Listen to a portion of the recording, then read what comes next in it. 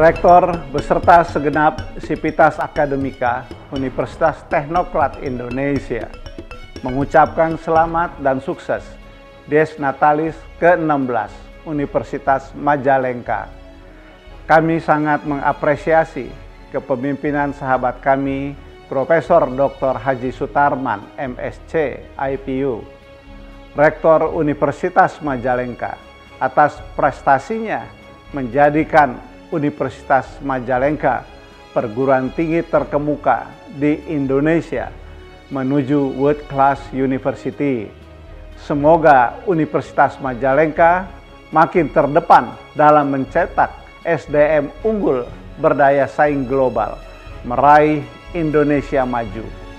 Universitas Majalengka bernas karena kualitas. FIFA Universitas Majalengka, FIFA Akademika.